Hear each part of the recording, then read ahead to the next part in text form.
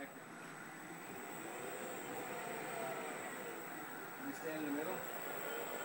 No, because this one doesn't have enough space in it.